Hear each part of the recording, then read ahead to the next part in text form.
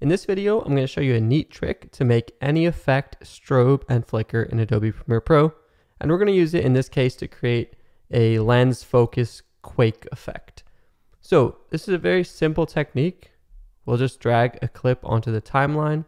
And when you're working on a, a clip, normally the strobe effect, which we can find in the effects panel, the strobe light in the stylized folder, works in this way. So if I apply it on the clip, by default, it's just going to strobe a white flash. And if we go to the effect controls panel, we can see the settings and controls we have. So you could choose the strobe color. Right now it's white. You can make it whatever color you want. You can choose the amount to blend with the original. Here it is at 50%. Then you can also choose the strobe duration. Also, if you ever click this reset icon, you can always reset it. So right now it's blinking on for 0.5 seconds or half a second every one second. That's why we're getting this half a second, half a second, half a second, half a second. And the random strobe probability increases that there might be a random flicker in between that. That's why if we increase that, we get much more crazy strobe. And then the strobe operates on color is what we have right now, but makes layer transparent is the one that we're going to be working with.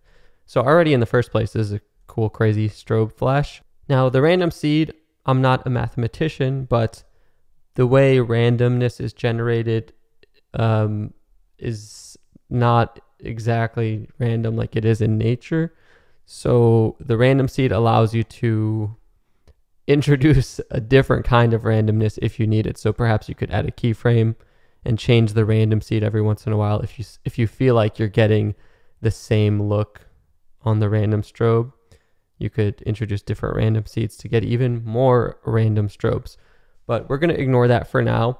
Now that we know how the strobe light effect works, we're going to use it in a cool way so that we can actually strobe any effect, not just the clip. So I'm actually going to delete that strobe light effect.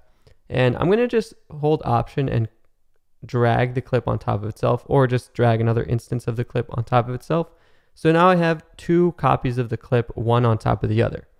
And on the bottom clip, I'm going to actually hide the visibility of, of track two right now with this eyeball icon. And on the bottom clip is where we're going to add any effect that we want.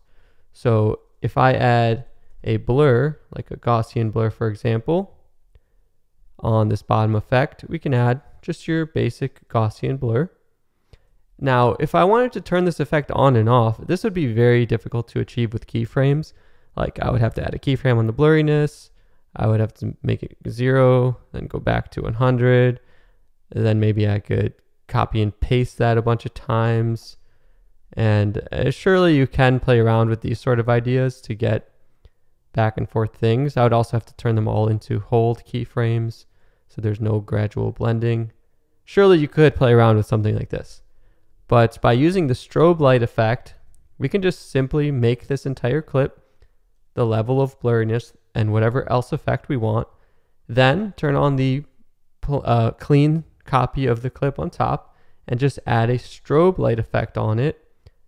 And instead of using the color, make it make layer transparent. And then you can just adjust the strobe duration or random strobe probability to your liking.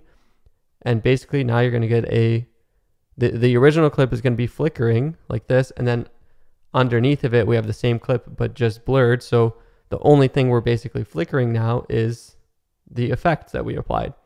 So in this way, we get this cool lens flicker effect. Check out my other tutorials. I have a series called Every Effect Explained, where I go over all the effects panel. And subscribe to stay tuned for all my future videos. My name is Justin Odisho. Thanks so much for watching, and I'll see you in the next video.